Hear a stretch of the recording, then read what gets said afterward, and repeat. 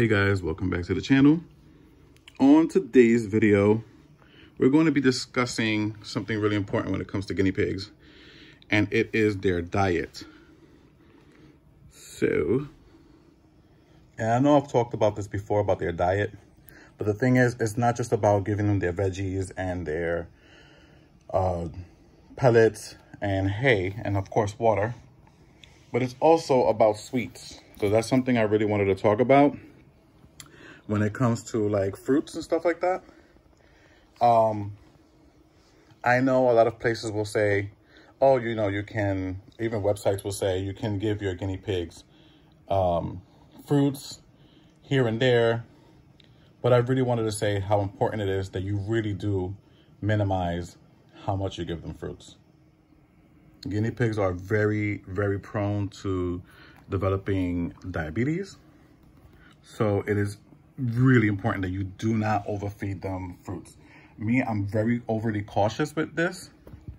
And that is why I only give my, my kids uh, fruits pretty much about once every like two months. You know, because I really fear them getting diabetes. And then on top of that, like the care, the care would be too much money.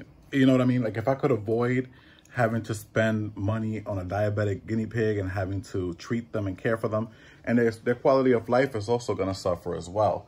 So just to cover my bases, I just I just don't do it. I just maybe every two months, I'll give them something sweet. Um, it'll be like a piece of banana or like a tiny piece of apple, you know, things like that. But I just wanted to put it out there as a PSA.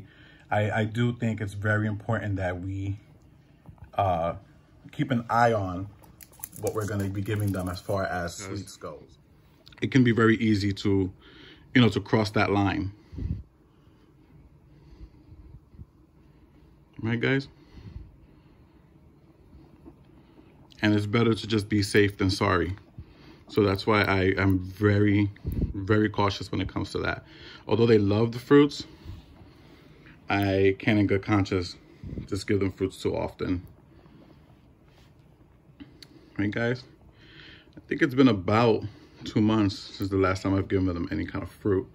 So i think today i'll actually take the opportunity and do that today. Maybe like a piece of banana or like maybe like a small piece of apple today just as a treat for them being good boys